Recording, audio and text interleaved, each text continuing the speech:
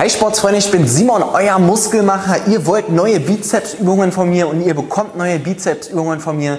Ich habe euch ja vor einiger Zeit, das ist schon äh, ein bisschen länger her, mal erklärt, dass ich kein großer Freund von den Drag Curls bin, dass es mir auch oftmals mit der Schulter Probleme bereitet. Jetzt mache ich doch eine Übung, äh, die ähnlich den Drag Curls ist und zwar sind es sozusagen ähm, ja, horizontale Drag Curls. Hier am Kabelzug mache ich die ganz gerne und ich habe die Möglichkeit, ähm, über eine sehr schöne äh, Körperhaltung sehr intensiv den Bizeps zu trainieren und zwar schnappe ich mir einfach als starren Griff hier die SZ-Stange sozusagen für den Kabelzug. Der Vorteil von der SZ-Stange ist, dass die, dass die Griffweite erstmal selber bestimmt werden kann. Das andere ist, dass über die Griffposition hier neutraler, also ein möglichst natürlicher Griff gewählt werden kann und dass keine Pronation standet, also stattfindet. Diese Pronation bedeutet sonst, dass ein Teil der Last nicht auf dem Bizeps, sondern genau genommen auf dem Brachialis liegt. So, jetzt zeige ich euch das einfach mal in der Theorie und ganz besonders wichtig ist die Körperhaltung. Bei den Drag Curls kommt das ja auch auf eine besondere Körperhaltung an.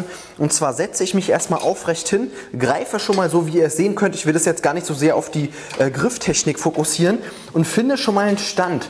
Und zwar sehr interessant ist von der Technik her, hat es sehr viel vom Bankdrücken. Also mein Stand mit gesamter Fußfläche auf dem Boden und so weiter, genauso ähnlich ähm, macht das auch bei mir beim Bankdrücken Sinn. Und ich versuche nämlich jetzt auch im weiteren Verlauf, ähnlich wie beim Bankdrücken, ein Hohlkreuz zu bilden. Ich ziehe jetzt die Schulterblätter zusammen, sodass nur die Schultern und das Gesäß Berührung zum Boden haben, also Berührung zur Bank haben natürlich. In der Position habe ich eine gute Körperspannung und fange jetzt an, eng am Körper die Curls auszuführen und behalte während der gesamten Bewegungsausführung natürlich den Oberarm nah am Rumpf. So,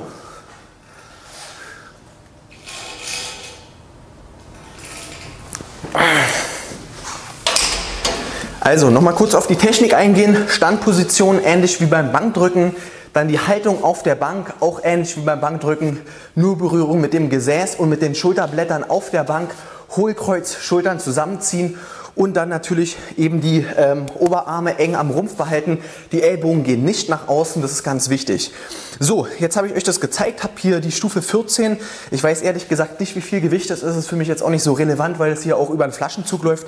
Jetzt zeige ich euch, dass ich natürlich auch noch ein bisschen mehr Gewicht bewegen kann. Sonst heißt das wieder, Simon ist ja so ein Schwächling und hat so einen kleinen Bizeps.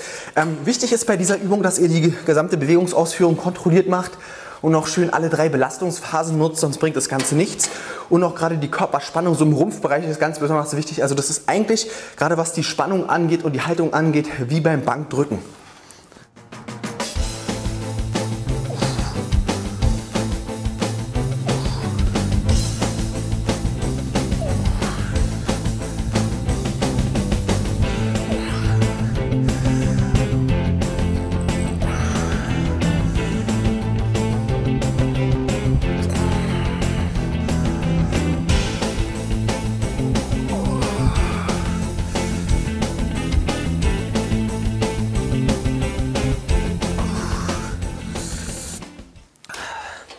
So, die letzte Wiederholung war nicht mehr ganz so schön.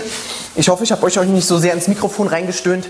Ein Tipp gebe ich euch noch und der ist ganz wichtig. Versucht keinen Druck über den Kopf auf die Bank aufzubauen. Sonst lauft ihr am nächsten Tag wie der Glöckner von Notre Dame. Das kann ganz übel enden. Das ist auch genau das gleiche beim Bankdrücken. Da solltet ihr auch niemals mit dem Kopf Druck auf der Bank aufbauen. Ja, das sind die horizontalen Drag Curls am Kabelzug. Tut mir auf jeden Fall momentan Richtig gut, ist eine Übung, die Spaß macht. Nochmal so richtig schön alles geben. Ich hoffe, es hat euch gefallen. Wir sehen uns im nächsten Video. Viele Grüße, euer Simon.